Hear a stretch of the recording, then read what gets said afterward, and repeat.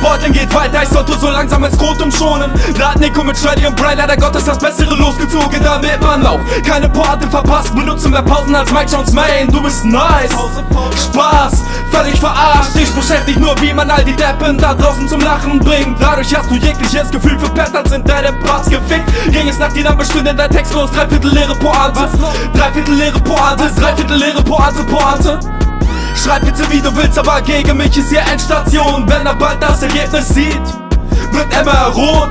Du wirst nur mit anderen Rappern verglichen, sonst bist du doch irrelevant. Der Grund für deine Belanglosigkeit liegt auf der Hand. Dein Name ist ein Anagramm zu Ron, das ist kein gutes Zeichen. Was man auch versucht, ist es unmöglich, dich zu beschreiben. Man bekommt von dir nur Dreck geboten Drehst wie du willst, aber das ist ein Tritt in die MR-Hoden Wer will denn schon diesen Penner sehen? Penner sehen. Hätt sogar mehr Bock auf MRT MRT Stumpfsinn ist dein Steckenpferd. Steckenpferd. Sonst gibst du nichts Besseres her. Es tut mir wahnsinnig weh ich habe gerade gesehen, du hattest vor kurzer Zeit online gepostet, dein Körper bereitet dir starke Probleme.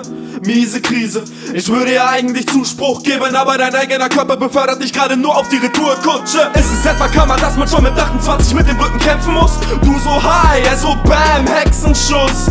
Wobei, wenn ich's mir direkt überlege, dann sollte ja niemand so leiden müssen. Wenn das Battle vorbei ist, dann gönne ich uns eine Kiste auf deinen Rücken. Mal abgesehen davon, was macht ihr mit dem und der Tier im Video? Ah, ich hab bis jetzt gemerkt, gleich und gleich gesetzt sich gern.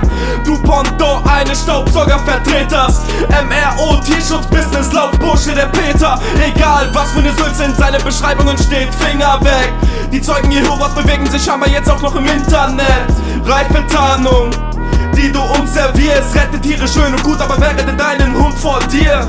Doch da er in seinem Hund den Partner fürs Leben sieht, verwirrt er sie einmal im Monat per Cadillac in der Pedigree.